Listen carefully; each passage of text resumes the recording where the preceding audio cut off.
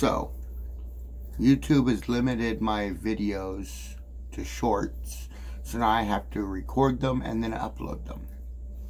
So, I will record my videos five minutes or so and upload them. Fuck YouTube.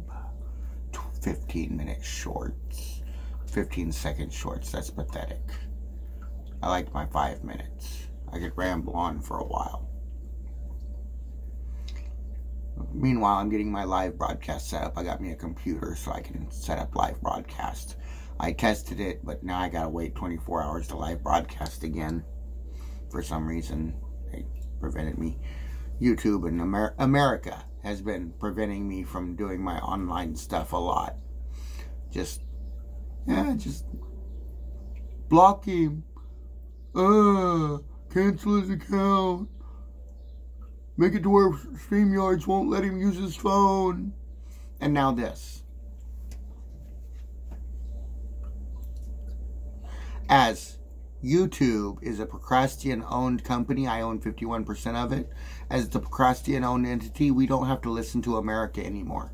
Neither does YouTube, YouTube Facebook, TikTok, OnlyFans, MySpace, Instagram, Twitter, all owned by the procrastination.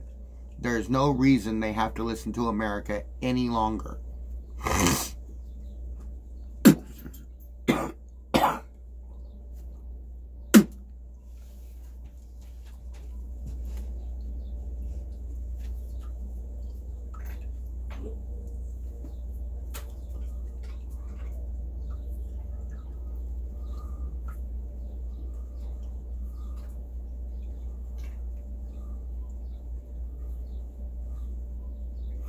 They are owned by me, the procrastination, and therefore they are not susceptible to American law.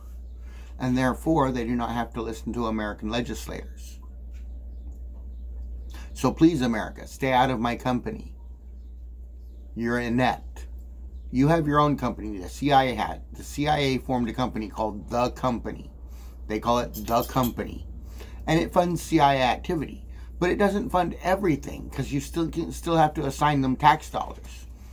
See, my company funds my operation wholly and still has money left over. Who's smarter?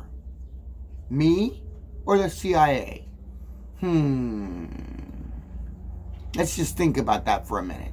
I fund myself entirely and give foreign aid. The CIA barely funds anything and asks for foreign aid. Hmm. Who should be in charge of this operation? Who should be the director of the CIA? Huh. Let's see here.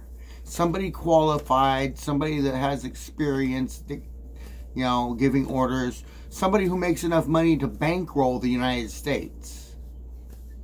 Hmm. Hmm. Who could that be? Who could that be? Who should be in charge of America because he has all the money America ever needs? Even if we went into space, I would have enough money to build a space fleet because I have intergalactic assets. I'm invested with the Asgard, the Sid. Um, let's see here, who else is around here that I'm invested with? The Ghoul, no, the Jaffa. Um, there's there's a lot of aliens I'm invested with. I have shipbuilding facilities, textile facilities, mining operations. I mine all kinds of metals, even stuff that isn't available on Earth. I have celestial metals. And America wants to do this to me. America wants to take everything I have because I have stuff they haven't been able to get.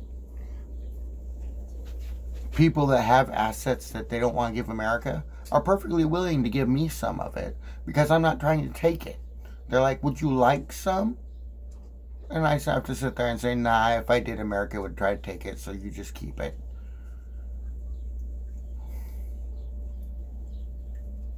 You see, I'm an acquisitionian. Acquisitionians acquire stuff. Well, I gotta go. It's five, six, five seconds left.